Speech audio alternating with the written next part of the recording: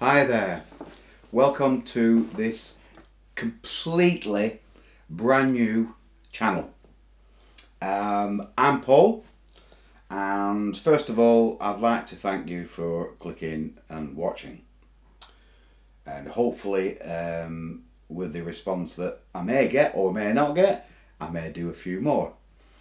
Um, I wasn't going to start a vlogging channel with doing reviews but I thought it'll be a good start today to do a review fully enough or, or a process that I've uh, started coming through. Obviously with the lockdown and everything's been going pear-shaped as we all know and we're all sick of it um, I've been off work since um, end of February on the furlough scheme due to my health. So in that time, um, I've decided that to keep myself busy, apart from doing a few jobs around the house, I wanted to get back into my music. Haven't done it for years, and wanted to get back into a bit more photography as well. So over the last few months, um, I'm recording this on a Canon M5, uh, sorry M50. Do apologise. Um, and it's been brilliant up to now. Like I say, I'm still learning, obviously, with this new mirrorless digital stuff. Uh, even though I have um, an old 400D that I've been using for many, many years from Canon, and it's still going very strong. It just doesn't have a, a video um, mode, so hence why I had to buy.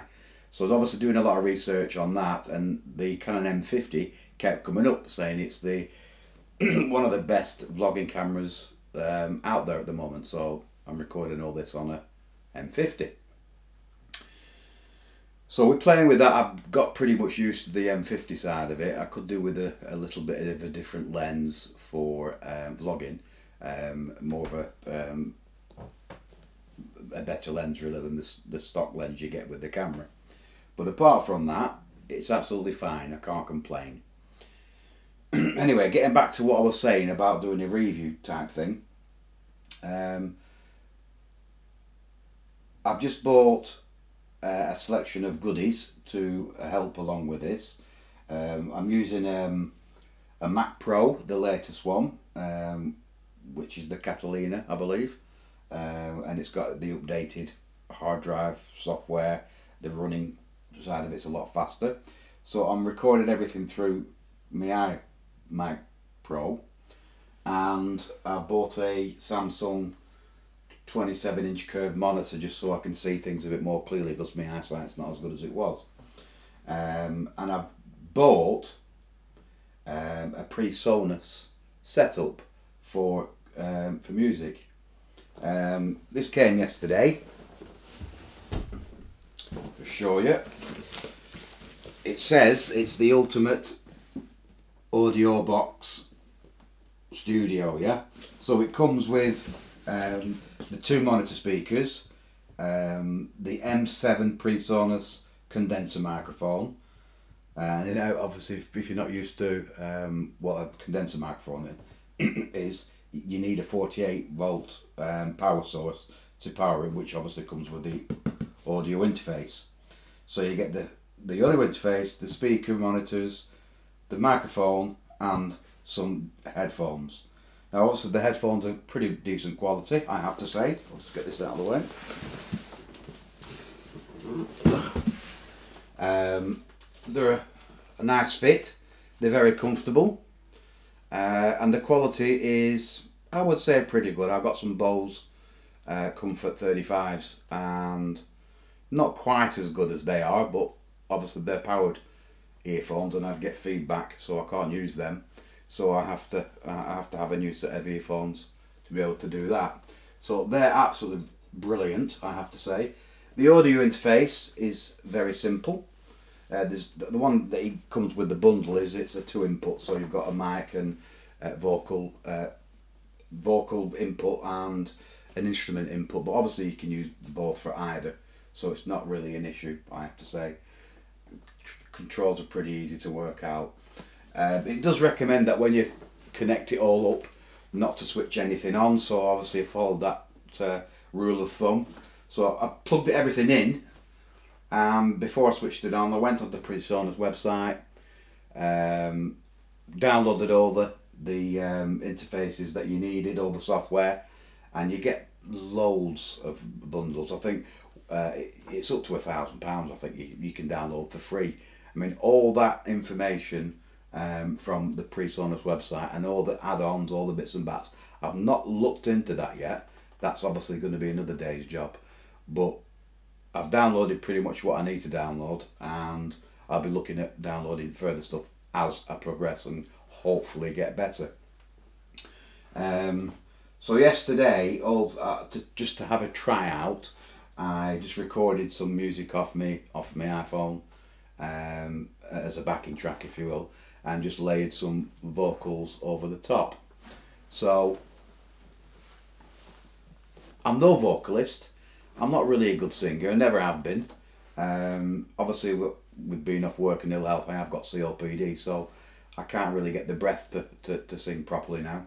Um, I'm more of an instrument player. I play bass guitar and, and, and rhythm guitar, lead guitar. So, but at least I'll give it a try.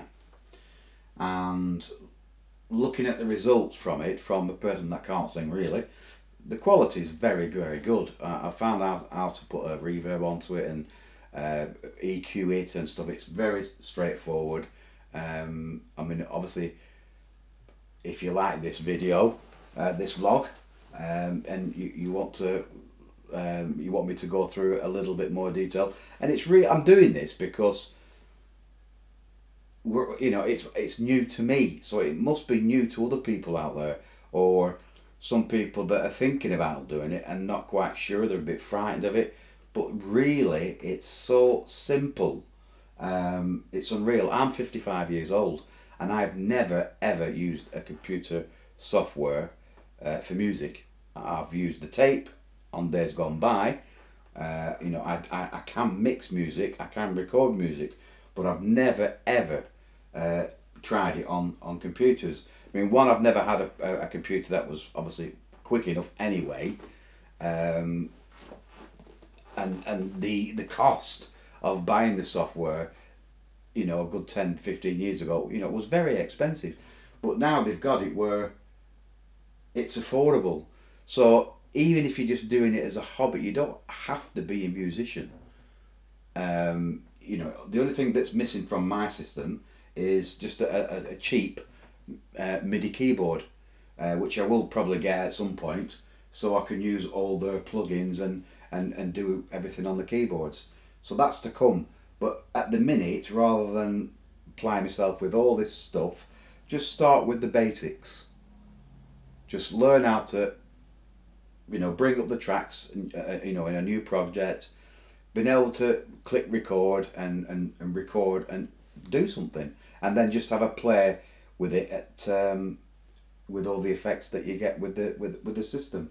So I can't I can't fault PreSonus for what you know for I think I paid two hundred just over two hundred pounds for this kit, and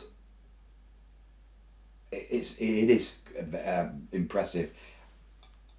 It's I can't say it's a review because I've nothing to judge it against. I've not used any other software before, so I can only go off what I've got here. And looking at what there is and what's available, uh, and for the price that you pay, it's unreal. It's cheap.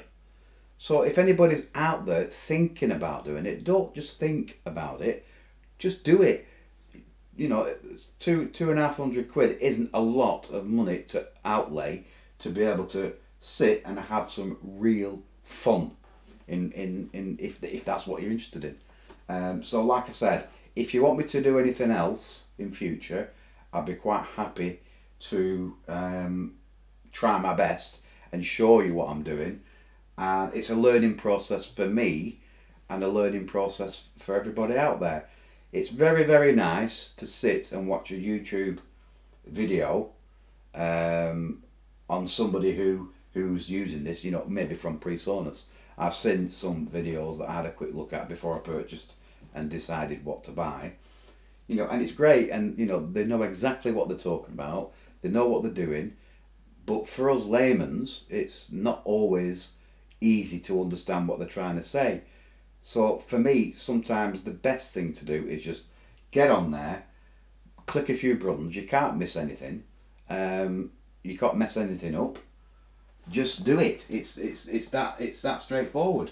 Uh, the only thing that I would recommend, obviously, is um, a bigger hard drive because obviously with with video in, with photographs, and with obviously the, the size of the files on these things these days, they're huge. So I think last time I looked, I think a 10 minute 4K video uh, was about 10 and a half gigabyte.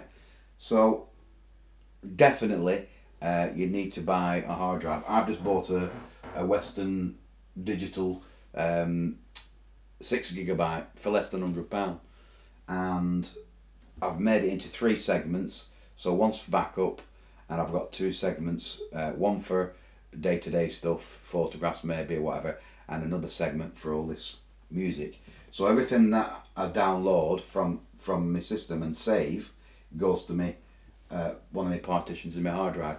So it's keeping the hard drive of the laptop free, so it won't slow down. Because obviously, as the as the time goes on, you'll be creating, you'll be making uh, more and more, and obviously the space is getting slower and slower and slower. Hence why you need a bigger hard drive anyway. So that's pretty much it. So, like I said, thanks for clicking on. Thanks for watching. If you want me to do any more on this subject, don't forget to click like and subscribe and uh, hopefully see you very soon.